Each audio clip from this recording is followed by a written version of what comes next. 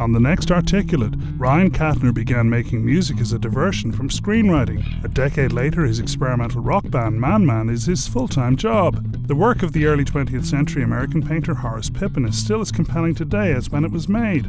And Jennifer Knapp was a big Christian rock star until she came out a decade ago. Today, she still believes in God and in herself. Join us for the next Articulate with me, Jim Cotter. Thursday at 10:30 on WHYY TV.